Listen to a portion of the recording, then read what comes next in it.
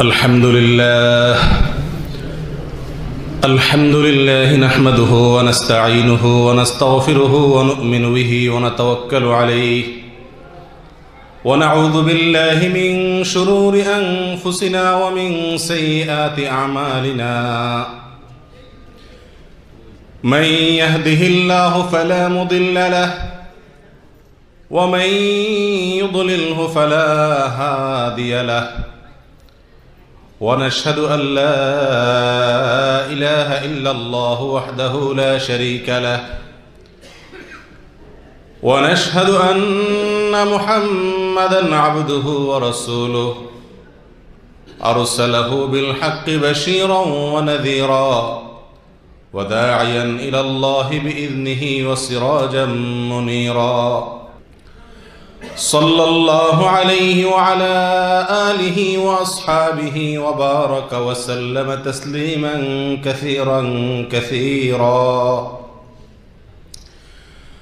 أما بعد فقد قال الله تبارك وتعالى في كلامه المجيد وفرقانه الحميد ادعوني أستجب لكم وقال النبي عليه الصلاة والسلام الدعاء هو العبادة আজকের এই মহতি মোবারক ইসলামী সম্মেলনের সম্মানিত সভাপতি উপস্থিত ওলামা একরাম মাসায়েখ বৃন্দ এবং আমার দিনদরদি মুসলিম ভাইরা আজ আমরা ইনশাল্লাহ আলোচনা করব দোয়া কবুলের কিছু স্থান, কাল এবং পাত্রের বিষয়ে। নবী আলী সালাতাম আমাদেরকে এমন বহু স্থান, কাল এবং পাত্রের সন্ধান দিয়ে গেছেন, যেই স্থানে, যেই সময়ে, যেই পাত্রে, যে অবস্থায় দোয়া করলে আল্লাহ সুমাতালা বান্দার দোয়া কবুল করার সম্ভাবনা অনেক জোরালো থাকে। আল্লাহ সুমাতালা সেই দোয়াগুলো কবুল করার অনেক বেশি সম্ভাবনা থাকে। কোরআন এবং হাদিস থেকে এরকম প্রায় তেত্রিশটি জায়গা আমরা চিহ্নিত করেছি। এই তেত্রিশটি জায়গা, তেত্রিশটি স্থান, কাল এবং পাত্র, এগুলোতে যদি আমরা দোয়া করি, আল্লাহ সুমাতালার কাছে সেই দোয়া কবুল হওয়ার সম্ভাবনা অনেক জোরালো, অনেক প্রবল। প্রিয় ভাইরা একজন মমিনের সবচাইতে বড় হাতিয়ার হলো দোয়া। আল্লাহর কাছে চাইতে পারা এটা মমিনের সবচাইতে বড় সৌভাগ্যের জায়গা। মানুষ যখন সব জায়গা থেকে নিরাশ হয়ে যায় তখন একটি আশার জায়গা থাকে। সেটি হলো আল্লাহ সুমাতালার কাছে দোয়া। প্রিয় ভাইরা কোরআনে করিমে আল্লাহ সুমাতালা আমাদেরকে দোয়া করার জন্য নির্দেশ করেছেন। দুনিয়ার মানুষের চরিত্র হলো, মানুষের কাছে চাইলে মানুষ নাখোশ হয়, অসন্তুষ্ট হয়, আর আল্লাহ সুমাতালা তার ব্যতিক্রম। তার কাছে না চাইলে তিনি অসন্তুষ্ট হন, আর চাইলে খুশি হন। নবী আলি সালাম বলেছেন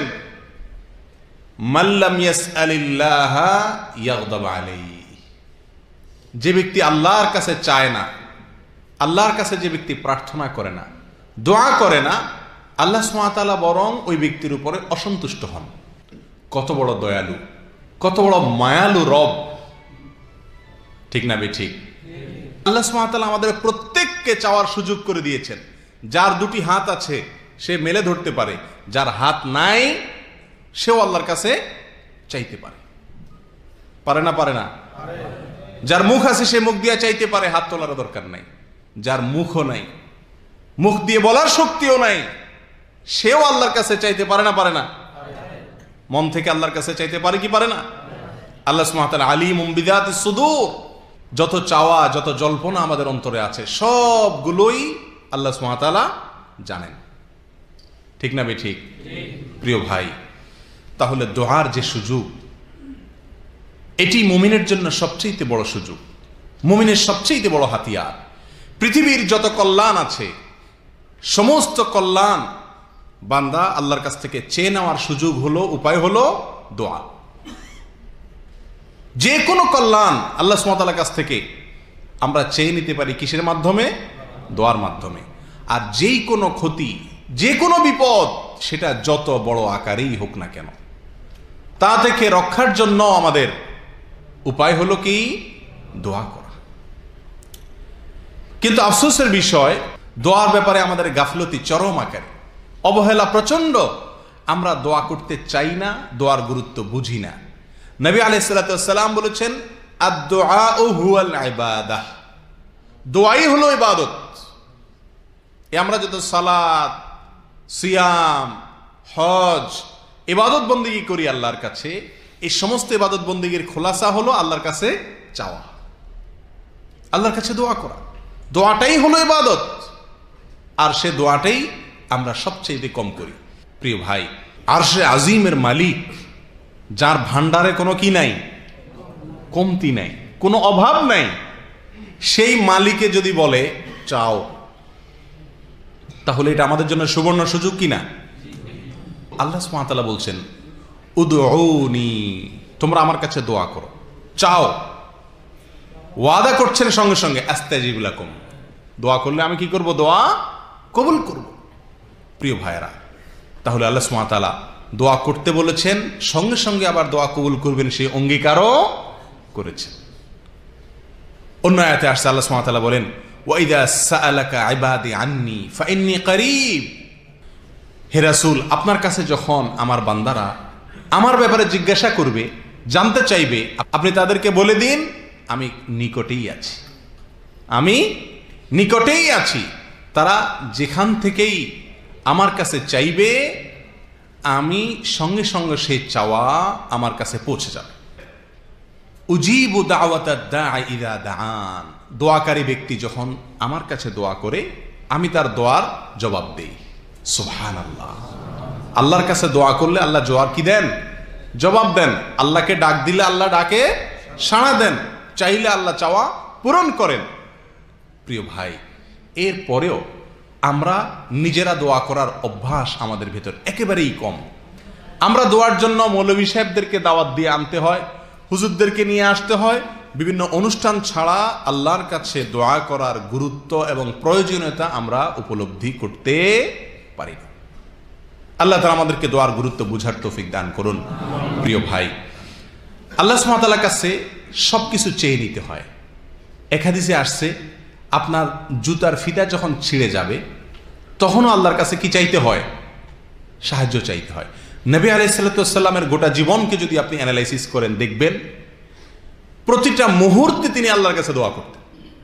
শুইতে গেলে দোয়া, উঠতে গেলে দোয়া। দুঃস্বপ্ন দেখছেন, আমল। অজু করতে গেছেন, দোয়া। অজু শেষ করছেন, দোয়া। মসজিদে ঢুকতেছেন, দোয়া। সালাতের ভিতরে তো পুরাটাই দোয়া। সালাতের পরে মসজিদে বের হচ্ছেন, সেখানেও কি? দোয়া। কাজ শুরু করছেন, দোয়া। ঘরে ঢুকতেছেন, দোয়া। ঘর থেকে বের হচ্ছেন, দোয়া। খাচ্ছেন, দোয়া। সুহান আল্লাহ খানা শেষ করছেন, দোয়া। রুগী দেখতে গেছেন, দোয়া। দোয়া নাই কোথায়? গোটা জীবনে শুধু দোয়াই দোয়া দোয়াই দোয়া দোয়াই দোয়া। আর সে দোয়াই আমরা সবচাইতে কি করি? কম করি। প্রিয় ভাই, আল্লাহর কাছে বেশি বেশি দোয়া করব ইনশাআল্লাহ। আল্লাহর মতো দাতা, আল্লাহর মতো দানশীল, আর আল্লাহর কোনো সৃষ্টি জগতের কেউ নাই। অতএব আল্লাহর কাছে চাওয়ার সুযোগটাকে আমরা কাজে লাগাবো তো ইনশাআল্লাহ। প্রিয় ভাইয়েরা, যে কেউ দোয়া চাইলে আল্লাহ সুহামতাল্লাহ সে দোয়া কি করবেন ইনশাআল্লাহ? মঞ্জুর করবেন। এর ভেতরে কিছু কিছু জায়গা, কিছু কিছু সময় কিছু কিছু ব্যক্তির, কিছু কিছু অবস্থার দোয়া আল্লাহ সুমাতালা কবুল করবেন বলে নবী সাল্লা সাল্লাম স্পেশালভাবে জানাই দিয়েছেন। তাহলে সেই সময়গুলোতে, সেই জায়গাগুলোতে, সেই অবস্থাগুলোতে আল্লাহর কাছে দোয়া করলে সেটা কবুল হওয়ার সম্ভাবনা আরও অনেক জোরালো, অনেক বেশি। অতএব সেই জায়গাগুলোকে খুঁটে খুঁটে, খুঁজে খুঁজে বের করে করে, সেই সময়গুলোকে বের করে করে আমরা আল্লাহর কাছে কি করব? নিজেদের সমস্ত চাহিদাগুলো পেশ করে দিব। করব তো ইনশাআল্লাহ। আল্লাহ আমাদেরকে তৌফিক দান করুন। প্রিয় ভাইয়েরা, এরকম তেত্রিশটি জায়গার কথা করং হাদিস থেকে ঘেটে একত্র করা হয়েছে। এর ভিতরে আমরা এক একটি করে আপনাদেরকে শোনাবো। আশা করব এর প্রতিটি জায়গা, প্রতিটি স্থান, প্রতিটি কাল, প্রতিটি মুহূর্ত, প্রতিটি অবস্থাকে আমরা ইনশাআল্লাহ আল্লাহ সুমাতালা আমাদেরকে তৌফিক দিলে আমরা সুবর্ণ সুযোগ হিসাবে দোয়ার জন্য আমরা গ্রহণ করব এবং দোয়া করব ইনশাআল্লাহ। ঠিক আছে তো? সর্বপ্রথম যে পয়েন্টটি বলব সেটি হলো, পাঁচ শ্রেণির মানুষের দোয়া আল্লাহ সুমাতালা ফিরিয়ে দেন না। আল্লাহ তালা মঞ্জুর করেন, কবুল করেন। কয় শ্রেণির? পাঁচ শ্রেণির। নাম্বার এক যে মুসলিম তার অন্য মুসলিম ভাইয়ের অগোচরে তার পিছনে তার জন্য দোয়া করে। যে মুসলিম তার অন্য মুসলিম ভাইয়ের অগোচরে তিনি এখানে নাই, তার জন্য আল্লাহর কাছে কোনো কিছু চায় ওই চাওয়া আল্লাহ সুমাতালার ফেরেশতারা ওই দোয়াকারী ব্যক্তির জন্য আল্লাহর কাছে পেশ করেন। কথা বুঝতে পারছি ভাই? সহি মুসলিম হাদিসে আসছে। আবু দারদা রদি আল্লাহ তালু বর্ণনা করেছেন। নবী আলাইসাল্লাম বলেছেন মামিন আবদিন মুসলিমিন ইয়াদউ আখিহি বিজাহরিল গাইবি ইল্লা ক্বালাল মালাকু ওয়ালাকা কোন মুসলিম বান্দা তার ভাইয়ের জন্য যদি অগোচরে তিনি এখানে নাই তার অনুপস্থিতিতে যদি আল্লাহর কাছে তার জন্য কোনো কিছু চায়, কোনো কল্যাণ চায়, তো আল্লাহর ফেরেশতারা ওই ব্যক্তির জন্য, দোয়াকারী ব্যক্তির জন্য আল্লাহর কাছে দোয়া করে যে তোমার জন্য আল্লাহ তারা তাই দেখ যা তুমি তোমার মুসলিম ভাইয়ের জন্য চাইতেছ। তাহলে আমাদের জানা, শোনা, পরিচিত, অপরিচিত যত মুসলিম ভাই বোনেরা আছেন, তাদের জন্য, তাদের অগোচরে আমরা যা চাইব, মনে রাখব যে সেই চাওয়াটা আল্লাহর ফেরেশতারা আমার জন্য আল্লাহর কাছে কি করবেন? পেশ করবেন। আর ফেরেশতার চাওয়া, এটা মঞ্জুর হওয়ার সম্ভাবনা একেবারেই জোরালো। ঠিক না ঠিক তাহলে একটি জায়গা আমরা পেলাম যে আমি যদি চাই আমার দোয়া কবুল হোক, তাহলে একটি কৌশল হলো আমি কি করব? অন্য ভাইয়ের জন্য কি করব? দোয়া করব। তাহলে ইনশাল্লাহ আল্লাহ সুমাতাল আমাকেও কি করবেন? দিয়ে দিবেন। দুনিয়ার ব্যাপারটা সম্পূর্ণ ব্যতিক্রম ভাই। দুনিয়ার বিষয়ে আপনি যদি কিছু পাইতে চান, তো আপনি চাইবেন যে এটা আমি চাই, আর জনে কেউ না চায়। ঠিক না বে ঠিক কারণ আরেকজন চাইলে তারেও যদি দেয় দাতায় তাহলে আমারটা তো মিসও হইতে পারে। আল্লাহর, আল্লাহ সুমাতালার সিস্টেম সম্পূর্ণ উল্টো। আপনি যদি অন্যের জন্য চান, আল্লাহ সুমাতালা আপনার জন্য কি করবেন? ইনশাআল্লাহ মঞ্জুর করবেন। মনে থাকবে তো ইনশাআল্লাহ? এক নম্বর জায়গা পেয়ে গেলাম। নাম্বার দুই, মাজলুম ব্যক্তির দোয়া। অত্যাচারিত ব্যক্তির দোয়া। যে ব্যক্তি কোনোভাবে অত্যাচারিত হয়েছে জুলমের শিকার হয়েছে কেউ তার প্রতি জুলম করছে, সেটা কথা দিয়া হোক, কাজ দিয়া হোক, হাত দিয়া হোক, অথবা অর্থকরীর দিক থেকে হোক, যেই কোনোভাবে কারোর প্রতি যদি জুলম করা হয়, যে ব্যক্তি মাজলুম, অত্যাচারিত, এই ব্যক্তির দোয়া কি হয়ে যায়? কবুল হয়ে যায়। সে ব্যক্তি তো নেক দোয়া করে না। মাজলুম ব্যক্তি সাধারণত কি দোয়া করে? বদ দোয়া করে। মনের কষ্টে, এই মাজলুম ব্যক্তির বদোয়া বড় ডেঞ্জার, বড় জঘন্য বিষয়, প্রিয় ভাই। আমার আপনার দ্বারা যদি কোনো কারোর প্রতি কখনো অবিচার হয়ে যায়, সেটা আমার মুখ দিয়া হোক, আমার হাত দিয়া হোক, অন্য কোনো অঙ্গ প্রত্যঙ্গ দিয়ে হোক, যে কোনো উপায়ে হোক, সঙ্গে সঙ্গে ওই ব্যক্তির কাছ থেকে ক্ষমা চেয়ে এটাকে সম্পূর্ণভাবে ভ্যানিশ করে দেওয়ার চেষ্টা আমাদের মধ্যে থাকতে হবে। কারণ মাজলুম ব্যক্তির দোয়া এত জঘন্য এত জঘন্য যে এই ব্যক্তির দোয়া আল্লাহ সুমাতারা সাধারণত কি দেন না? ফিরায় দেন না। তার মনে যে বদোয়া তৈরি হয়, জালেমের বিরুদ্ধে এই দোয়া কি হয়ে যায়? কবল হয়ে যায়। এই জন্য ভাই, যত জালেম পৃথিবীর ইতিহাসে আসছে, বড় হোক, ছোট হোক, কোন জালেমকে আল্লাহ সুমাতালা শাস্তি না দিয়ে রাখেন নাই। আখেরাতের শাস্তি না, ওইটা তো আছেই। দুনিয়াতে নগদ শাস্তি প্রত্যেক জালেম ভোগ করে। সেটা হয়তো দুদিন আগে অথবা দুই দিন পরে। কোন জালেমের রক্ষা হয় না। আল্লাহ সুমাতালার কাছে কোন জালেমের কি নাই? রক্ষা নাই। আল্লাহ তালা আমাদেরকে জুলম থেকে বেঁচে থাকার তফিক দান করেন। প্রিয় ভাই, এই বিষয়ে মুসনাদে আহমদে এবং সহিব নেহেব্বানে খাদিসে আবু হরায়রা রাদিয়াল্লাহ তাআলা থেকে বর্ণিত, নবী আলাইহিসসালাম ইরশাদ করেছেন, দাওয়াতুল মাজলুমে মুস্তাজাবাহ। যে ব্যক্তি মাজলুম, অত্যাচারিত, জুলুমের শিকার, তার দোয়া কবুল হয়ে যায়। তার দোয়া কি হয়ে যায়? কবুল হয়ে যায়। এখন আপনি বলতে পারেন, সে যদি নিজে দুই নম্বর মানুষ হয়, বেনামাজি হয়, খারাপ মানুষ হয়, এমনকি অমুসলিম হয়, তাহলে তার প্রতি জুলুম করলেও কি আল্লাহ সে দোয়াও কি শুনবেন কিনা? তার বদোয়াও শুনবেন কিনা? সে কথাও হাদিসে আসছে। নবী আলাইহিসসালাম বলেছেন, ওয়াইন কানা ফাজরান ফাফুজুরুহু আলা নাফসিহি। সেই লোকটা যদি খারাপ মানুষ হয় তো তার খারাপিয়ে তাকে পাবে। কিন্তু তার দোয়া বদোয়া যেটা, এটা ঠিকই কি হবে? কবুল হয়ে যাবে। কত বড় জঘন্য কথা। প্রিয় ভাই, তাহলে অমুসলিমও যদি হয়, খারাপ মানুষও যদি হয়, জুলম যদি করেন, তো মনে রাখবেন, ওই ব্যক্তির মনে যদি কষ্ট থেকে আপনার প্রতি কোনো বদোয়া আসে, আর কি নাই, রক্ষা নাই। আল্লাহ তালা আমাদেরকে জুলুমের অপরাধ থেকে, জুলুমের অন্যায় থেকে জুলুমের গুণা থেকে আল্লাহ আমাদেরকে হেফাজত করুন। প্রিয় ভাই, তিন নম্বর ব্যক্তি হলেন বাবা। কে? বাবা। বাবার দোয়া কবুল হয় সন্তানের জন্য। বাবার দোয়া কবুল হয় কার জন্য? সন্তানের জন্য। সেটা পক্ষের দোয়া হোক অথবা বিপক্ষের দোয়া হোক। নেক দোয়া হোক অথবা বদ দোয়া হোক। বাবা যদি সন্তানের জন্য দোয়া করে, সে দোয়া কি হয়ে যায়? কবুল হয়ে যায়। এ বিষয়ে এমনি মা যায় বর্ণিত এক হাদিসে নবী আলাইসালাম বলেছেন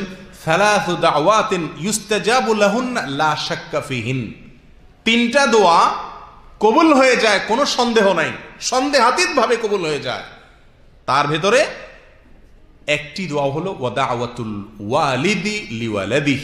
বাবা যদি তার সন্তানের জন্য কি করে আল্লাহর কাছে দোয়া করে, তো সে দোয়া কি হয়ে যায়? কবুল হয়ে যায়। অন্য বর্ণায় আসছে, দাওয়াতুল ওয়ালিদি আলা ওয়ালাদি। অর্থাৎ বাবা যদি সন্তানের বিরুদ্ধে বদোয়া করে, সেটাও কি হয়ে যায়? কবুল হয়ে যায়। তাহলে ভাই, বাবা মা, তাদের প্রতি খুব বেশি যত্নশীল থাকতে হবে, যাতে কখনো যেন তাদের কাছ থেকে কি না আসে? বদোয়া না আসে। সবসময় যেন তাদের কি পাই আমরা? নেক দোয়া পাই। এই আপ্রাণ চেষ্টা সবসময় থাকতে হবে। আল্লাহর পক্ষ থেকে বড় কঠিন পরীক্ষা মা বাবা উল্টাপাল্টা করবেন ওনারা। কিন্তু ব্যবহার খারাপ করা যাবে না। জোলম করবেন ওনারা, কিন্তু ব্যবহার খারাপ করা যাবে না। কঠিন একটা জায়গা। কিছু বলতেও পারবেন না। শুধু সইতে হবে। শুধু কি করতে হবে? সইতে হবে। বাবা মা যদি নিজেরা অন্যায় করেন, তার বিচার আল্লাহ অবশ্যই করবেন। সেটা ভিন্ন কথা। কিন্তু আপনি করতে পারবেন না। বিচার করতে পারবেন না। এবং কিছু বলতে পারবেন না। বড় জটিল একটি জায়গা। যাই হোক, তো বাবার দোয়া সন্তানের জন্য। এটা কি হয়ে যায়? কবুল হয়ে যায়। নাম্বার চার, নেক সন্তানের দোয়া তার বাবা মায়ের জন্য। বাবা মার মৃত্যুর পরে যদি নেক সন্তান থাকে, ভালো আমলকারী সন্তান থাকে, এমন সন্তান থাকে যে সন্তান নামাজি, কালামি, দিনদার, তো তার দোয়াও ওই বাবা মার জন্য আল্লাহ কি করেন? কবুল করেন। আমরা সবাই একটি বিখ্যাত হাদিস জানি, তিরমিজি এবং ইবনে খুজাম আর অন্যান্য হাদিসের কিতাবে আসেন আলাইহিস সাল্লাম বলেছেন, ইদা মাতাল ইনসান ইনকাতা আনহু আমালু ও ইনকাতা আমালু, যখন মানুষ মারা যায়, তার সমস্ত আমলের দরজা কি হয়ে যায়? বন্ধ হয়ে যায়। কিন্তু তিনটা দরজা কি থাকে? খোলা থাকে। তার ভিতরে একটা হলো, ওয়ালাদুন সালেহ ইয়াদউলাহ নেক সন্তান যদি সে রেখে যায়, আর সে সন্তান যদি তার মা বাবার জন্য কি করে? দোয়া করে। তো এই দোয়া তার উপকারে আসে। বোঝা গেলে এই দোয়া কি হয় আল্লাহর কাছে? কবুল হয়। তাহলে যদি দুনিয়াতে নেক সন্তান রেখে যেতে পারি, তাহলে সেই দোয়া আমাদের জন্য কি হবে ইনশাআল্লাহ? কবুল হবে। আর আমরা যদি নিজেরা নেক থাকার চেষ্টা করি, আর বাবা মা দুনিয়া থেকে যেয়ে থাকেন, তাদের জন্য দোয়া করলে সেটাও কি হবে ইনশাআল্লাহ? কবুল হবে। নাম্বার পাঁচ, আল্লাহর কিছু বান্দা আছেন, যারা নেকামল করতে করতে করতে করতে এমন একটা পর্যায়ে চলে গেছেন, যে তাদের দ্বারা বদামল সচরাচর সহসা হয় না, ভুলে বিচ্যুতিতে হয়ে যায়। এরকম যদি ভালো কাজ ছাড়া, মন্দ কাজ তিনি করেন না, সঠিক ছাড়া বেঠিকের পথে পা দেন না এরকম যদি কোনো আল্লাহর বান্দা চলতে চলতে চলতে চলতে এই পর্যায়ে চলে যেতে পারেন, তাহলে ওই ব্যক্তি যা চান আল্লাহ তা দেন। যা চান আল্লাহ তা দেন। সহি বুখারিতে আসছে, নবী আলাইসালাম বলেছেন, আল্লাহর কিছু বান্দা, তারা ফরজ আমলগুলো করে, নফল আমলগুলো করে করে আল্লাহ তালা নৈকট্য অর্জন করে, করতে করতে করতে একটা পর্যায়ে গিয়ে তার হাত, তার মুখ, তার চোখ, তার কান, তার অঙ্গ প্রত্যঙ্গ থেকে যাই, চায় সব কিছু আল্লাহ সুমতাল্লাহ কি করে দেন? মঞ্জুর করে দেন। কেমন যেন তার চাওয়াই হলো আল্লাহর চাওয়া। তার চাওয়াই কি হয়ে যায়? আল্লাহর চাওয়া হয়। সৈব বুখারী আরেক হাদিসে আরসন বলেছেন, ইন্না মিন ইবাদিল্লাহি লাউ আকসামা আলাল্লাহি লা আবাররাহ নিশ্চয়ই আল্লাহর বান্দাদের ভিতরে এমন কিছু লোক আছে যারা আল্লাহর কাছে যদি বাজি ধরে, কসম করে কিছু চায়, বলে তো আল্লাহ তারা তার কসম ভাঙে না। অর্থাৎ কসম পুরা করে দেন। এটা কখন হয় ভাই? যখন পাচক্ত সালাত আপনি পড়েন, হারাম থেকে আপনি বেঁচে থাকেন, আল্লাহর কথার বাইরে আপনি চলেন না, সবসময় আল্লাহকে স্মরণে রেখে চলেন, এক কথায় আপনি একজন আদর্শ মুমিন, মুসলিম হওয়ার চেষ্টা করেন। এই পর্যায়ে চলে গেলে আপনি তখন নেককার হয়ে যান। বা আব্দুল সালেহে পরিণত হয়ে যান। তখন আল্লাহ সুমাতাল্লাহ আপনার সকল চাওয়া কি করবেন ইনশাল্লাহ পূরণ করবেন। এ হলো পাঁচ শ্রেণির ব্যক্তি যাদের দোয়া আল্লাহ তারা কি করেন? কবুল করেন। এরপরে আসি আমরা, দোয়া কবুলের কিছু কি আছে? জায়গা আছে। দোয়া কবুলের কিছু জায়গা আছে। পাঁচটি জায়গা কোরআন হাদিস থেকে আমরা পাই।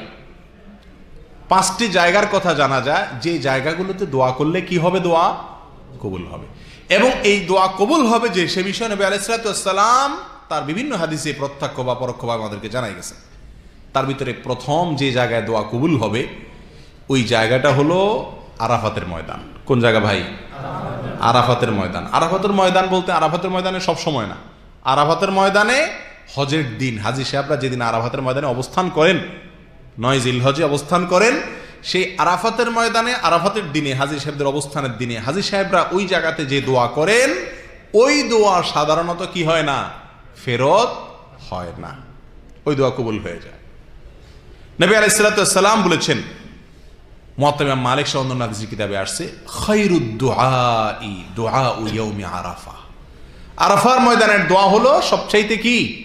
শ্রেষ্ঠ দোয়া। যত দোয়া আছে, এর ভিতরে সবচাইতে উত্তম দোয়া কোন দোয়া ভাই? আরাফাতের ময়দানের দোয়া। আমরা অনেক আল্লাহর বান্দা আছি, যারা এখনও আমাদের সুযোগ এবং তৌফিক হয় নাই আরাফাতের ময়দানে আরাফাতের দিনে যে অবস্থান করার, অর্থাৎ হজ করা আল্লাহ সুমাত্রা আমাদের সকলকে হজ করার তৌফিক দান করুন। প্রিয় ভাই, আরাফাতের ময়দানে দোয়া করলে যে দোয়া কবুল হয়, এটা পরীক্ষিত। বহু লোকের পরীক্ষিত যে আল্লাহর কাছে এই জায়গায় চাইলে আল্লাহ, সাধারণত সে চাওয়া কি করেন না, ফেরত দেন না। এরকম বহু বাস্তব নজির, বহু অভিজ্ঞতার আলোকে প্রমাণ আমাদের কাছে আছে। ব্যক্তিগতভাবে আমরা অনেক অভিজ্ঞতার কথা জানি যে আরাফাতের ময়দানে আল্লাহর কাছে নাছর বান্দা হয়ে চাইছেন এবং দোয়ার মৌলিক যে শর্ত আছে, হালাল উপার্জন এটা ফুলফিল করছেন, আল্লাহ সুমাতাল ওই বান্দার দোয়া কি করছেন? কবুল করছেন। অতএব সারা জীবনের জন্য একজন মুমিনের আকাঙ্ক্ষা থাকবে যে জীবনে একবারের জন্য হলেও আরাফাতের ময়দানে এহরামের কাপড় করে হজ করা অবস্থায় আল্লাহর কাছে কি করব? দোয়া করব। আর এই জন্য ওই দিন যাতে আল্লাহর কাছে দোয়া করা যায়, সেই জন্য জোহরের সালাদটুকু এবং আসরের সালাদটুকু, দোনো সালাদকে কি করে দেওয়া হয়েছে? একসাথে করে দেওয়া হয়েছে দুটো একসাথে পড়বে। আসল আলাদা পড়বে না। যাতে করে একসঙ্গে পড়ে এক টানা সূর্য ডুবা পর্যন্ত এই কয়েক ঘণ্টা কি করা যায়? দোয়া করা যায়। কত গুরুত্বপূর্ণ দোয়া। আল্লাহ তালা আমাদের সকলকে আরাফাতের ময়দানে গিয়ে দোয়া করার তৌফিক দান করুন। দ্বিতীয় যে জায়গায় দোয়া কবুল হয় ভাই, সেটা হলো ফেরেস্তা যে জায়গায় আসে। কোন জায়গায়? ফেরেস্তা যে জায়গায় আসেন, সেই জায়গায় দোয়া কবুল হয়। কোন কোন জায়গায় ফেরেস্তা আসেন? এর, এ বিষয়ে হাদিসে বিভিন্ন বর্ণনা পাওয়া যায়। যে সমস্ত জায়গাগুলোতে ফেরেস্তারা অবতরণ করেন, হাজির হন, উপস্থিত হন, সেই জায়গাগুলোর কথা বিভিন্ন হাদিসে কি আছে? বর্ণিত আছে। তার ভিতরে দৃষ্টান্ত স্বরূপ আমরা তিনটি জায়গার কথা বলি। নাম্বার এক, কোনো মানুষ যখন মুমর্ষ হয়ে যায় প্রচণ্ড অসুস্থ হয়ে যায়, জীবন সায়ান্ন যেটাকে বলে, মৃত্যুর আগ মুহূর্তে মানুষের শিওরে তার আশেপাশে ওই জায়গাতে আল্লাহ সুমাতালার পক্ষ থেকে ফেরেশতারা অবতরণ করেন। আল্লাহর ফেরেশতারা সেখানে কি করেন? অবতরণ করেন। আর ওই সময় দোয়া করলে, ভালো কিছু চাইলে ফেরেশতারা তখন ওই চাওয়ার সঙ্গে আল্লাহর কাছে কি বলে? আমিন আমিন বলে। যার কারণে সে দোয়া কবুল হওয়ার সম্ভাবনা অনেক বেশি, অনেক প্রবল। এ বিষয়ে সহি মুসলিমের হাদিসে আসছে। নবী আলাইহিস সালাম বলেছেন, ইদা হাদারতুমুল মারিদা আউল মাইয়িতা ফাকুলু খায়রা ফাইন্নাল মালায়েকাতা ইউআমিনুনা আলা মা তাকুলুন। তোমরা যখন কোনো অসুস্থ ব্যক্তির কাছে বা কোনো মানুষ মারা গেছে, সে জায়গায় উপস্থিত হইছো, তাহলে সেখানে ভালো কিছু চাও, ভালো কিছু, মন্দ কিছু বলিও না। কারণ তোমরা ওখানে যা বলো, আল্লাহর ফেরেশতারা তার সপক্ষে আল্লাহর কাছে আমিন আমিন বলে কি করেন ফরিয়াদ করে। অর্থাৎ ফেরেস তারা আমার জন্য কি করে? আমার দোয়া কবুলের জন্য দোয়া করে। একটি জায়গা পাইলাম। ফেরেশতা উপস্থিত হন এরকম আরেকটি জায়গা হলো আল্লাহর আলোচনার মজলিস, জিকিরের মজলিস। যে আমরা একটা মজলিসে বসছি এরকম আল্লাহর আলোচনার মজলিস বা জিকিরের মজলিস যদি হয়, সহি বুখারের বিখ্যাত হাদিস আমরা সকলেই জানি, একটু আগেও আমরা শুনেছি। নবী সালাম বলেছেন, কোথাও যদি আল্লাহর আলোচনা চলে, এই জিকিরের মজলিসকে আল্লাহর ফেরেশতারা কি করেন? ঘিরে ফেলেন। এবং তারা আল্লাহ পর্যন্ত চলে যান। আল্লাহ সুমাতালা জিজ্ঞাসা করেন কোথেকে আসছো? লম্বা হাদিস। একটা পর্যায়ে আল্লাহ সুমাতালা ফেরেশতাদেরকে বলেন, আমারে বান্দারা কি চায়? তো ফেরেশতারা বলে, আল্লাহ তারা জাহান্নাম থেকে মুক্তি চায়। তারা কি চায়? তারা জান্নাত চায়, ক্ষমা চায়। আল্লাহ সুমাতা তখন ফেরেশতাদেরকে বলেন, তোমরা সাক্ষী থাকো, আমি তাদেরকে ক্ষমা করে দিলাম। তাহলে এই আল্লাহর আলোচনার মজলিস, জিকিরের মজলিস, কোরআন এবং হাদিসের মজলিস যদি হয়, সেই মজলিসে সেই বৈঠকে ফেরেশতা উপস্থিত হন। আর সেখানে যদি জান্নাতের আকাঙ্ক্ষা থাকে, জাহান্নাম থেকে মুক্তির আকাঙ্ক্ষা থাকে, চাওয়া থাকে তো সে চাওয়া কবুল হবে। এই হাদিসে এই ঘোষণা নবী আলাইসাল্লাম নিজে দিয়েছেন সৈবুখার হাদিস। তাহলে বোঝা গেল, ফেরেশতা আসেন সেই জায়গাতে মনের চাওয়া পেশ করলে আল্লাহ সে চাওয়া কি করেন? কবুল করেন। আরেকটি ক্ষেত্র ফেরেশতা উপস্থিতির সেটি হলো মুরগি যখন ডাকে, মুরগির ডাকের সময়, এ সময় ফেরেশতা হাজির হয়ে যায়। এবং এ বিষয়ে সহিবুখরে এবং মুসলিম হাদিসে আসছেন নবী আলাইসাল্লাম বলেছেন, ইদা সাহাদ্দিকাতু ফাসআল্লাহ মিন ফাদলি ফাইন্নাহা রাআত মালাকা। যখন মুরগি আওয়াজ দিয়ে উঠে, তো তোমরা মনে করো এমনি আওয়াজ দেয়। না। মুরগি যখন আওয়াজ দিয়ে উঠে, তখন তোমরা ওই সময় আল্লাহর কাছে তোমাদের মনের চাওয়াগুলোকে পেশ করো। মনে মনে চাইতে পারেন। যদি চাও, তাহলে সেই চাওয়া কবুল হওয়ার সম্ভাবনা বেশি থাকে। কারণ মালাকা। কারণ মুরগিয়ে ফেরেশতা দেখে তারপরে কি করে? আওয়াজ করে। তার মানে ফেরেশতা উপস্থিত আছে এখানে। আর ফেরেশতা উপস্থিতের জায়গা কি হয়? সাধারণত দোয়া কবুল হয়। তাহলে দোয়া কবুলের দ্বিতীয় জায়গা পেলাম। প্রথম জায়গা হলো আরাফাতের ময়দানে দোয়া করলে দোয়া কবুল হয়। দ্বিতীয় জায়গা হলো ফেরেশতারা যেখানে উপস্থিত হয় সেই জায়গায় দোয়ায় মনের যত চাওয়া আছে, দোয়া আছে, সেগুলো কি হয়? কবুল হয়। নাম্বার তিন, সেজদায় দোয়া কবুল হয়। কোন জায়গায় ভাই? সেজদায়। বড় কঠিন একটা জায়গা। বড় কঠিন একটি জায়গা। দোয়া কবুলের জন্য আদর্শ একটি জায়গা। নবী আলাইসালাম বলেছেন সহি মুসলিম হাদিসে আবু তাআলা বর্ণনা করেছেন আকরাবু মা ইয়াকুনুল আবদু মির রাব্বিহি ওয়া হুয়া বান্দা তার রবের সবচেয়ে কাছাকাছি থাকে, আল্লাহর সবচেয়ে নিকটে চলে যেতে পারে। কোন সময়? যখন সে সেজদায় চলে যায়। যখন সেজদায় চলে যায়, তখন আল্লাহর যত কাছাকাছি যাওয়া যায়, এত কাছাকাছি যাওয়ার সুযোগ আর তার জীবনে অন্য কোনো সময়ে হয় না। ওই সেজদায় যেহেতু আল্লাহর সবচাইতে কাছাকাছি যাওয়া যায়, সেজন্য নবী আলাইসালাম বলেন ফাক ফিরুদ্দোয়া সেজদায় আল্লাহর কাছে কি করো? বেশি বেশি করে দোয়া করো। অন্য বর্ণা আসছে, তিনি বলেছেন ফাজ তাহিদু ফিদ্দোয়া সেজদায় গেলে তোমরা দোয়া মনে প্রাণে দোয়া করো। দোয়ার জন্য প্রচণ্ড চেষ্টা করো, সাধনা করো, কষ্ট করো। প্রিয় ভাইয়েরা, তাহলে সেজদায় গিয়ে আল্লাহর কাছে কি করব? দোয়া করব। এখন নামাজে যখন আমরা সেজদা দিব, ওই সেজদা আমরা কীভাবে দোয়া করব? এটি একটা বিশদ আলোচনার বিষয়। সেদিকে আমরা বিস্তারিত যাব না, শুধু সংক্ষেপে এটুকু বলব নামাজের সেজদায় মনে মনে আল্লাহর কাছে যেই কোনো বৈধ চাওয়া আপনি পেশ করতে পারবেন। এটা নিয়ে কোনো কারোর দ্বিমত নাই। কোরআন এবং হাদিসের যত দোয়া আছে, বর্ণিত দোয়া, সেগুলো আল্লাহর কাছে কি করতে পারবেন, পেশ করতে পারবেন এ বিষয়ে কারোর কোনো দ্বিমত নাই। নিজের ভাষায়, মাতৃভাষায় সেজদায় দোয়া করতে পারবেন কিনা, এ বিষয়ে কয়েকটা মত পাওয়া যায়। অনেকে বলেন যে ফরজ নামাজে হলে করবেন না, নফল নামাজ হলে করবেন। অনেকে বলেন, না, ফরজ নামাজ দোনোটাতে করবেন, অনেকে বলেন, না, কোনোটাতে করবেন না। কিন্তু মনে মনে এবং করোনাদিসে বর্ণিত দোয়াজে করা যাবে, এটা নিয়ে কারোর কোনো দ্বিমত নাই। কথা কি বুঝতে পারছি?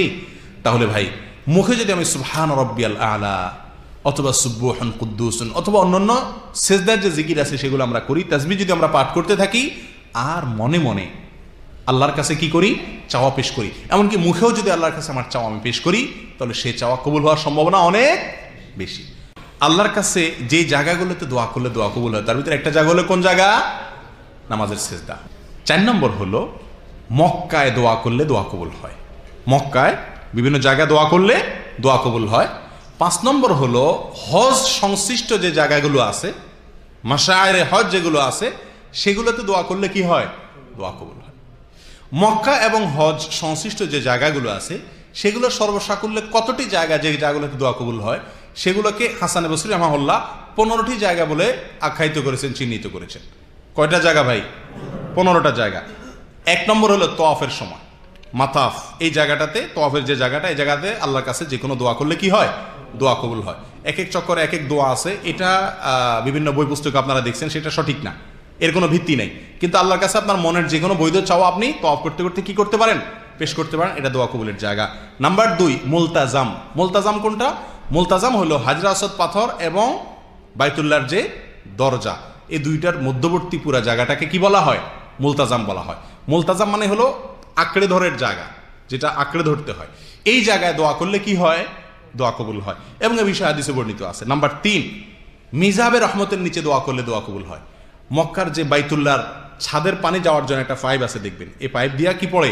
ছাদের পানিগুলো সাধারণত পড়ে। ওইটার নিচে দাঁড়ায় বা বৈশা যে কোনো অবস্থায় দোয়া করলে কি হয়? দোয়া কবুল হয়। এই বিষয়ে হাদিসে আছে, যদিও সে হাদিসের সমাজে কিছুটা দুর্বলতা আছে, কিন্তু মহাদিসিন ইকরাম অনেকে বলেছেন যে এই দুর্বলতা সহনীয় পর্যায়ে। যাই হোক, তাহলে মিজাবের রহমতের যার মধ্যে দোয়া করলে দোয়া কবুল হয়। তিন, নাম্বার চার, বাইতুল্লাহ হারামের যে কোনো জায়গায় দোয়া করলে দোয়া কবুল হয়। নাম্বার পাঁচ, জমজমের পানির কাছে দোয়া করলে দোয়া কবুল হয়। জমজমের পানি বলতে জমজমের পানির ডিব্বা যেখানে যেখানে রাখা আছে জম ইয়াতে হারামে ওই জায়গা না। জমজমের কূপের যে জায়গাটা সাফা মারোয়া মধ্যবর্তী জায়গা, সেখানে। দোয়া করলে দোয়া কবুল হয়। নাম্বার ছয় সাফা পাহাড়ে দাঁড়িয়ে দোয়া করলে কি হয়? দোয়া কবুল হয়। সাইড শুরুতে দোয়া করতে হয়। তোয়াফকারী ব্যক্তি তোয়াফ যখন শেষ করবে ওমরা এবং হজের তোয়াফের পরে আপনার সাই যখন করতে হয়, তখন সাফা পাহাড়ে দাঁড়িয়ে দোয়া কী করতে হয়? দোয়া করতে হয়। আর তখন দোয়া কবুল হয়। সাত নম্বর হলো, মারোয়া পাহাড়ে দাঁড়ায় দোয়া করলে কি হয়? আল্লাহর কাছে দোয়া কবুল হয়। আট নম্বর হলো সাই করা অবস্থাতে মাস আতে সাইর জায়গাটাতে দোয়া করলে দোয়া কবুল হয়। নয় নম্বর, মাকাম ইব্রাহিমের পিছনে, যেখানে আপনি ওমরা তফ শেষ করার পরে হজের তফ শেষ করার পরে দুই রাকাত নামাজ পড়েন, সেখানে এই মাকাম ইব্রাহিমের পিছনে দোয়া করলে কি হয়? দোয়া কবুল হয়। নাম্বার দশ, আরাফাতের ময়দানে দোয়া করলে দোয়া কবুল হয়, যেটা একটু আগে জানলেন। নাম্বার এগারো, মোজদালেফায় দোয়া করলে দোয়া কবুল হয়। নবী সাল্লাম হজের সময়, ঈদের দিনে, ফজরের পরে দীর্ঘ সময় পর্যন্ত মোজদালেফায় মাসারে হারামে দাঁড়িয়ে কি করছিলেন? দোয়া করছিলেন। নাম্বার বারো, মিনায় দোয়া করলে কি হয়? দোয়া কবুল হয়। মিনায় দোয়ার কথা আছে। তেরো, চোদ্দ, পনেরো, এই তিনটি হলো তিনটি জামারাতের পরে। জামারাতে পাথর মারেন না হাজি সাহেবরা, ওগুলোর পরে কি হয়? দোয়া কবুল হয়। তাহলে এই পনেরোটি ক্ষেত্র আছে মক্কা এবং মাসারা হারামে। এই জায়গাগুলোতে দোয়া করলে কি হয়? দোয়া কবুল হয়। দোয়া কবুলের জায়গা আমরা বুঝি না। এই জন্য অজাগায় বে জায়গায় বা যে জায়গায় দোয়া কবুল করার কথা নাই কোনো, সেখানে যে আমরা কি শুরু করি? দোয়া কবুল করি। দোয়া করা শুরু করি। অনেক দোয়ার জায়গা আছে, সেই জায়গাগুলোতে আমরা কি করি না? দোয়া করি না। বেশিরভাগ মানুষকে ভারত, বাংলাদেশ পাকিস্তান লোকজনকে দেখবেন, মদিনায় যখন যায়, নবী আলাইসালামের কবর যখন জিয়ারত করে জিয়ারত করে ওখানে কি শুরু করে দেয়? দোয়া করু শুরু করে দেয়। কোনো হাদিসে তো এরকম বলা হয় নাই যে ওই জায়গায় দোয়া করলে কি হবে? দোয়া কবুল হবে। এটা দোয়ার জায়গা না। দোয়ার যে জায়গাগুলো আছে, সেগুলো তো অনেক সময় কী করে না? দোয়া করে না। কিন্তু যেখানে জায়গা নাই, সেখানে কি করে? দোয়া করে। ওই মাজারে যায় দোয়া করে। লক্ষ লক্ষ মানুষ আমাদের দেশে এখনও বেবুজা হয়ে কোথায় দোয়া করে? মাজারে চলে যায়। আপনি মাজারে যায় দোয়া করতেছেন। কোন জায়গায় দোয়া করতে হবে এটা আমরা জানি না। আল্লাহ আমাদেরকে বুঝার তৌফিক দান করুন। প্রিয় ভাই, এবার আসি আমরা সময়। বারোটি সময় আছে দোয়া কবুলের জন্য। কয়টি সময় আছে? বারোটি সময় মুহূর্ত আছে। যে মুহূর্তগুলোতে দোয়া করলে কি হয়? দোয়া কবুল হয়। নাম্বার এক, হাজি সাহেব যখন হজ করে তখন। নাম্বার দুই ওমরাকারী ব্যক্তি যখন ওমরা করে তখন। নাম্বার তিন, গাজী, বীর, যে আল্লাহর রাস্তায় জেহাদ করছে, জেহাদ করে সে বীর হয়ে ফিরে এসছে। এই বীর ব্যক্তি তার এই বীরত্বের পরে আল্লাহ সুমাতালার কাছে দোয়া করলে সে দোয়া কি হয়? কবুল হয়। এবং এ বিষয়ে সোনা আবু দাউদ এবং অন্যান্য হাদিসের কিতাবে বিস্তারিত হাদিস আসছে। নাম্বার চার, আজানের সময় দোয়া করলে কি হয়? দোয়া কবুল হয়। নাম্বার পাঁচ, যুদ্ধের সময় দোয়া করলে দোয়া কবুল হয়। নাম্বার ছয়, বৃষ্টি যখন পড়ে, বৃষ্টি নাজিলের সময় দোয়া করলে কি হয়? দোয়া কবুল হয়। এ বিষয়ে আবু দাউদে সাহালিবনে রাদিল্লাহ থেকে একটা বিস্তারিত হাদিস এসেছে। নাম্বার সাত কোনো ব্যক্তি যদি রাত্রে অজু অবস্থায় থাকে, পবিত্র অবস্থায় থাকে এবং আল্লাহ জিকির করতে থাকে, ওই অবস্থায় সে দোয়া করলে দোয়া কবুল হয়। এবং এই বিষয়ে মোস্তাদ আহমদে আহমদ ইবনে বলে হাদিস আসছে। নাম্বার আট, রাতের শেষ ভাগে, ভোর রাতে যদি কেউ উঠে আল্লাহর কাছে দোয়া করে এই সময় দোয়া কবুল হয়। এই বিষয়ে সে বুখারের বিখ্যাত হাদিস আছে, আমরা জানি। নবী আলাইসাল্লাম বলেছেন, ভোর রাত যখন হয়, আল্লাহ তালা দুনিয়ার আসমানে আসেন। এসে বান্দাকে ডাকতে থাকেন, তোমাদের কোনো চাওয়া আছে কিনা? পেশ করো, আমি চাওয়া মঞ্জুর করব। তাহলে ভোর রাতে দোয়া করলে দোয়া কবুল হয়। নাম্বার নয়, জুমার দিন, আগামীকালকে শুক্রবার। এই শুক্রবারে, জুমার দিনে একটা সময় আছে যে সময় দোয়া কবুল হয়। কোন সময়? সেটা হাদিসে নির্দিষ্ট করে বলা হয় নাই। মহাদিসিন একরাম এক একজন, এক একটা মন্তব্য যার যার ধারণা অনুযায়ী করেছেন। কেউ বলেছেন আসরের পরে, কেউ বলেছেন জুমার আগে, পরে, বিভিন্ন সময়। কিন্তু একজন মুমিনের এই শুক্রবারের পুরো সময়টাকে চলতে, ফিরতে, কাজের ফাঁকে আল্লাহর কাছে মনে মনে কি করা উচিত? দোয়া করা উচিত। কারণ একটি সময় আছে, দোয়া কবুল হয়। এটা কোন সময় আমরা কেউ জানি না, নাম্বার দশ। লাইলাতুল কদরে দোয়া করলে কি হয়? দোয়া কবুল হয়। আমাদের আয়সা রাদিয়াল্লাহু তাআলা আনহা, তিরমিজি এবং অন্যান্য হাদিস কিতাবে বর্ণিত হয়েছে যে তিনি নবী বলেছেন, ইয়া যদি আমি লাইলাতুল কদর পেয়ে যাই আল্লাহর কাছে, আমি কি চাইব? কি বলব? তাহলে তিনি দোয়া কবুল করার জন্য ভাষা জানতে চাচ্ছেন নবী আলাইসালামের কাছে। তার মানে এই সময় দোয়া করলে দোয়া কবুল হয়। নবী আলাইসালামও তাকে ভাষা শিখিয়ে দিয়েছেন, আল্লাহম্মা ইন্নাকা আফুহুন করিম, তোহেব্বুল আফু আফু আফু আননি। এই দোয়া করিও। আল্লাহ আপনি দয়ালু, আপনি ক্ষমাশীল আপনি করিম, অতএব আমাকে ক্ষমা করুন। তাহলে লাইলাতুল কদরে এই সময় দোয়া করলে এরাতে দোয়া করলে কি হয়? দোয়া কবুল হয়। নাম্বার এগারো, আজান এবং একামতের মধ্যবর্তী যে জায়গাটা, আমরা বেশিরভাগ টয়লেটে পড়ে থাকি এই টাইম এই টাইমটাতে দোয়া করলে কি হয়? দোয়া কবুল হয়। নাম্বার বারো, পাঁচক্ত সলাতের একেবারে শেষ ভাগে এসে দোয়া করলে দোয়া কবুল হয়। দোয়া মাসুরা পড়ি না আমরা।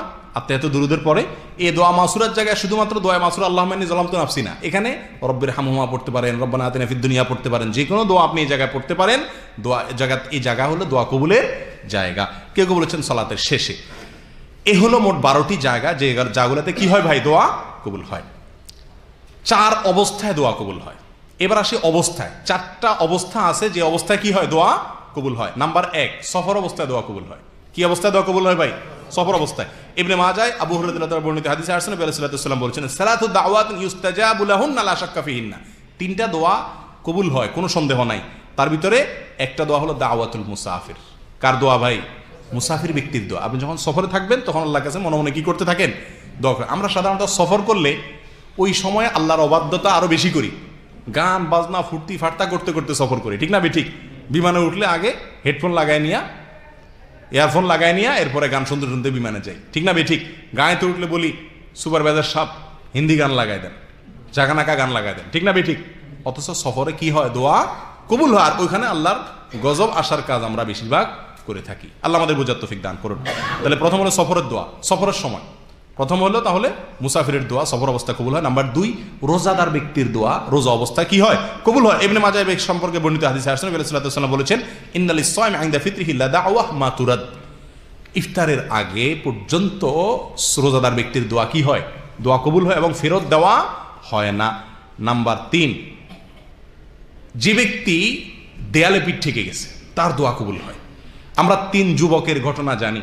বিখ্যাত হাদিসে আহসান বলেছেন যে তিনজন যুবক একটি গর্তে আশ্রয় নিয়েছিল, গর্তের মুখ পাথরে, বন্ধ হয়ে গেছে, তারা বের হওয়ার কোনো জায়গা নাই, উপায় নাই, তারা মৃত্যুর প্রহর গুনছে। এ অবস্থায় তারা তিনজনে তিনটি আমলের কথা স্মরণ করে আল্লাহর কাছে কি করছেন? দোয়া করছেন। আল্লাহ তাআলা তিনজনের দোয়া কবুল করে তাদেরকে রক্ষা করেছেন। তাহলে যখন কোনো উপায় থাকে না, দেয়ালে পিঠ থেকে যায়, তখন যদি আপনি আল্লাহর কাছে দোয়ার শর্ত পূরণ করে, সুন্দর করে, ভালো করে দোয়া করতে পারেন ইনশাআল্লাহ ওই সময় দোয়া কি হবে? কবুল হবে। নাম্বার চার, ন্যায়পরায়ণ শাসক যে ব্যক্তি জুলম করে না, অবিচার করে না, তার অধীনস্থদের প্রতি কি করে না? অবিচার করে না। সেই শাসকের দোয়া আল্লাহ কি করেন? কবুল করেন। তিরমিজি ইবনে খোজামের হাদিসে আসছেন, নবী আলাইহিস সাল্লাম বলেছেন সালাসুল্লাহ তুরাদ্দু দাওয়াতুহুম। তিন ব্যক্তির দোয়া ফেরত দেওয়ানের ভিতরে প্রথম বলেছেন আল ইমামুল আদেল, ন্যায়পরায়ণ শাসক। এরপর আসেন দোয়া কবুলের সর্বশেষ পয়েন্ট যেটা। সেটা কোনটা? সেটা হলো কিছু কিছু আমল আছে, কিছু কিছু কথা আছে। যে আমলগুলা করলে, যে কথাগুলো বললে, যে জিকিরগুলা বললে দোয়া কবুল হয়। কথা বোঝা যাচ্ছে এরকম সাতটি আমল আছে, সাতটি জিকির আছে। যেগুলোর পরে দোয়া করলে কি হয়? দোয়া কবুল হয়। সই বুখারের হাদিসে আসছে ওবাদ ইবনে তার বর্ণনা করেছেন, ঘুম থেকে ওঠার পরে আপনি যদি দোয়া করেন আল্লাহ কাছে, লা ইলাহা ইল্লাল্লাহু ওয়াহদাহু লা শারীকা লাহু, লাহুল মুলকু ওয়া লাহুল হামদু ওয়া হুয়া আলা কুল্লি শাইইন কাদির আলহামদুলিল্লাহ ওয়া সুবহানাল্লাহ ওয়া লা ইলাহা ইল্লাল্লাহু আকবার, ওয়া লা হাওলা ওয়া লা কুওয়াতা ইল্লা বিল্লাহ। এটা বলার পর যদি বলেন, আল্লাহুম্মা গফিরলি, অথবা আল্লাহ কাছে যা চান, সেই চাও আল্লাহ কি করবেন? পূরণ করবেন। একটি জায়গায় ঘুম থেকে ওঠার পরে যদি আপনি এই দোয়া পড়ে আল্লাহ কাছে দোয়া করেন, দোয়া কবুল হবে। নাম্বার দুই, আপনি যদি ইউনুস আলাইসালামের দোয়া দিয়ে দোয়া করেন, তাহলে সে দোয়ার পরে আপনি যা চাইবেন আল্লাহ সেটা কি করবেন? কবুল করবেন। বা সে দোয়া পড়তে পড়তে আপনি যা মনে মনে চাইবেন সে দোয়া আল্লাহ কবুল করবেন। কারণ এই বিষয়ে নবী আলাইসালাম বলেছেন সুরানা সাইদে বর্ণিত হয়েছে সাইদ ইবনে সাদ ইবনে আবি বর্ণনা করেছেন যে দাওয়াতু জিন্নুন ইদা দা বিহা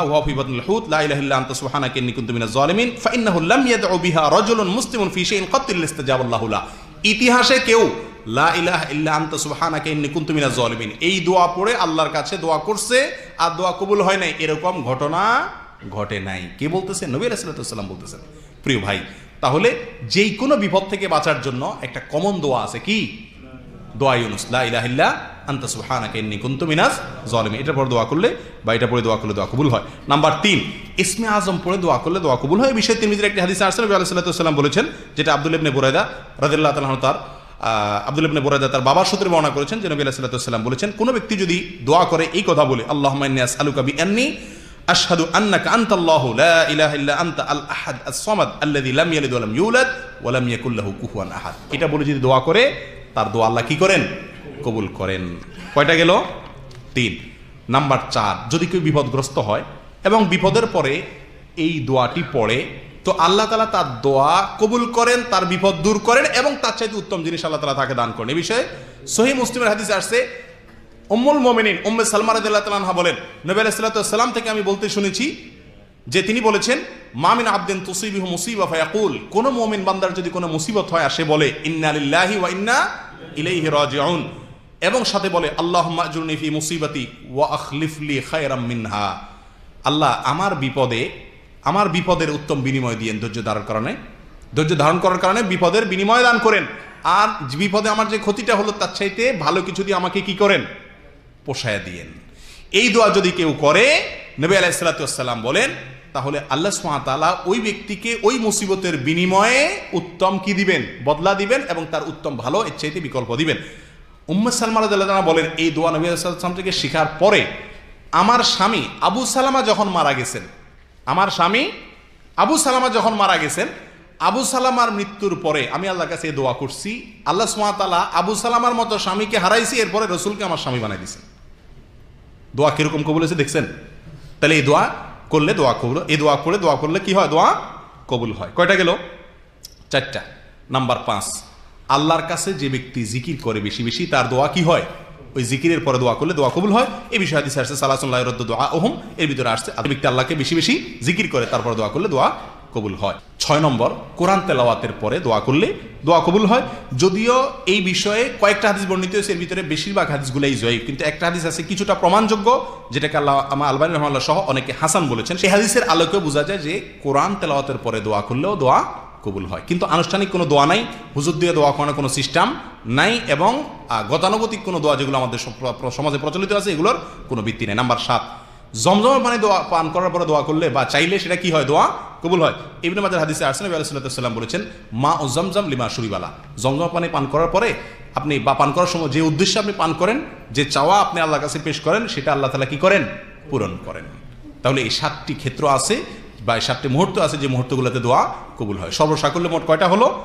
তেত্রিশটা। আমরা এক নজরে যদি বলে দিই যে দোয়া কবুলের তেত্রিশটি খাত তেত্রিশটি স্থান, কাল এবং পাত্র আছে যেগুলো বিভিন্ন হাদিস দ্বারায় আমরা জানতে পারি। সেই জায়গাগুলোর ভিতরে প্রথম হলো অনুপস্থিত ব্যক্তির জন্য দোয়া করলে। কোনো মুসলমানের পেছনে অগোচরে দোয়া করলে সেই দোয়া আপনার জন্য আল্লাহ মঞ্জুর করবেন ইনশাল্লাহ নাম্বার দুই, মাজলুম ব্যক্তি বদ দোয়া করলে জালামের বিরুদ্ধে সেটা কবুল হয়। নাম্বার তিন, কোনো বাবা তার সন্তানের জন্য নেক দোয়া হোক বদ দোয়া হোক করলে সেটাও কি হয়? কবুল হয়। নাম্বার চার, নেক সন্তান যদি তার বাবা মার মৃত্যুর পরে তাদের জন্য দোয়া করেন, সেটাও কি হয়? কবুল হয়। নাম্বার পাঁচ কোনো নেককার বান্দা আল্লাহর কাছে যদি তিনি ফরজ এবং নফল করতে করতে আল্লাহর নৈকট্য অর্জন করতে পারেন, তাহলে ইন্নামিন আকসমা আল্লাহ আবররা। তার দোয়াও আল্লাহ কবুল করেন। যদি নেককার হতে পারি, ভালো কাজ করতে করতে আল্লাহর প্রিয় পাত্র হয়ে যেতে পারি, তাহলে যা চাইব আল্লাহ তাই কবুল করবেন।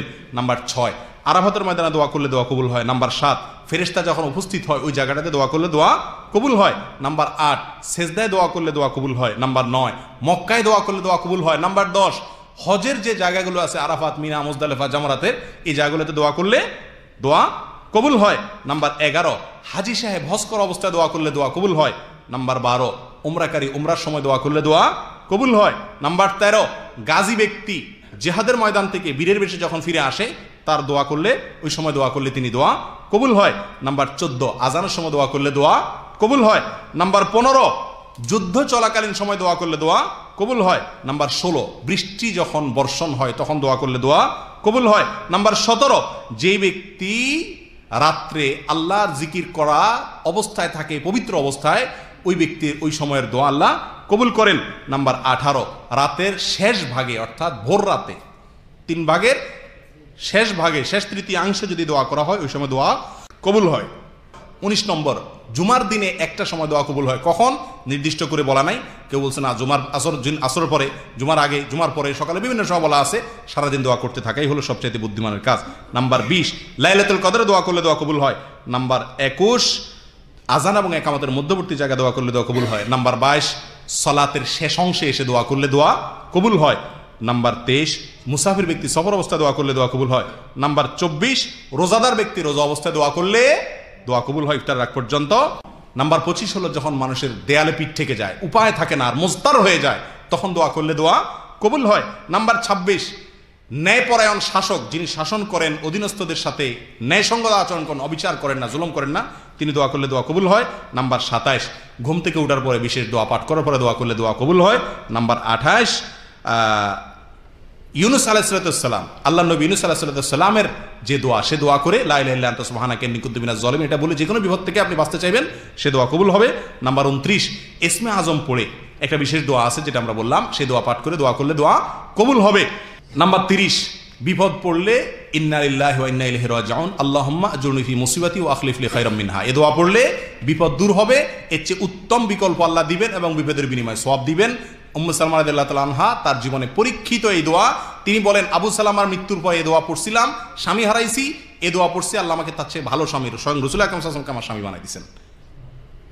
একত্রিশ নম্বর, যে ব্যক্তি আল্লাহর জিকির বেশি বেশি করে, তারপরে দোয়া করলে দোয়া কবুল হয়। বত্রিশ নম্বর, কোরআন তেলাওয়াতের পরে দোয়া করলে দোয়া কবুল হয়। তেত্রিশ নম্বর, জমজম পানি পান করার পরে দোয়া করলে দোয়া কবুল হয়। আল্লাহ সুমাতালা আমাদের সকলকে দোয়ার সমস্ত শর্তগুলো পূরণ করে এই স্থান, কাল, পাত্র, মুহূর্তগুলোকে খুব বেশি থেকে বেশি কদর করার তৌফিক দান করুন। জেজাক মোল্লা ওয়াহুদা আওয়ানা আনিল আলহামদুলিল্লাহ রবিল আলমিন। ওসালামু আলাইকুম রহমতুল্লাহ বরাকাতু